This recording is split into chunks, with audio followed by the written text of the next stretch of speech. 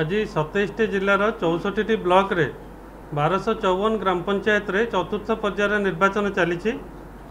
ବର୍ତ୍ତମାନ ସୁଦ୍ଧା ଆମ ପାଖରେ ଯାହା ଖବର ଅଛି ନିର୍ବାଚନ ଶାନ୍ତି ଶୃଙ୍ଖଳାର ସହିତ ଚାଲିଛି। ମଧ୍ୟାହ୍ନ ବାରଟା ସୁଦ୍ଧା ପଇଁଚାଳିଶ ପରସେଣ୍ଟରୁ ଅଧିକ ଲୋକ ଭୋଟ ଦେଇସାରିଲେଣି ଆମ ପାଖରେ ବର୍ତ୍ତମାନ ଯାହା ପ୍ରାଥମିକ ସୂଚନା ଅଛି କୌଣସି ଜାଗାରେ କିଛି ଗଣ୍ଡଗୋଳ ହେଇନାହିଁ।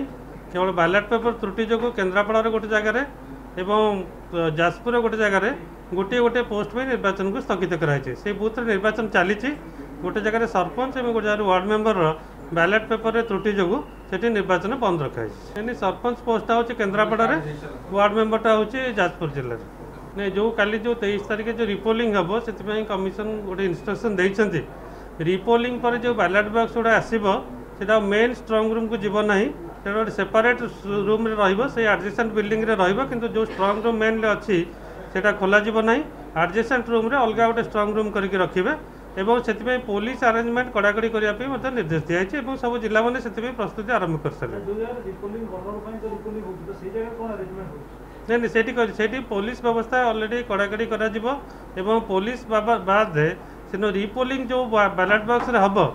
ସେଇ ବ୍ୟାଲେଟ୍ ବକ୍ସଟା ଗୋଟେ ସେପାରେଟ୍ ଷ୍ଟ୍ରଙ୍ଗ ରୁମ୍ରେ ରହିବ ମେନ୍ ଷ୍ଟ୍ରଙ୍ଗ ରୁମ୍ରେ ରହିବ ନାହିଁ। ଆଉ ମେନ୍ ଷ୍ଟ୍ରଙ୍ଗ ରୁମ୍ଟା କୌଣସି ପରିସ୍ଥିତିରେ ଖୋଲାଯିବ ନାହିଁ ବୋଲି ଇନଷ୍ଟ୍ରକ୍ସନ୍ ଦିଆଯାଇଛି। ହଁ ତୃତୀୟ ପର୍ଯ୍ୟାୟରେ ଆସିଛି ପ୍ରପୋଜାଲ୍ ଆସିଛି। ଆମେ ଅଲରେଡ଼ି ପ୍ରୋଗ୍ରାମ୍ ଆପ୍ରୁଭ୍ କରିସାରିଲୁଣୁ।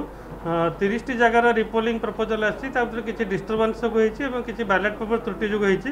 ସେ ସବୁଗୁଡ଼ିକ ନିର୍ବାଚନ ପଚିଶ ତାରିଖରେ ହେବ।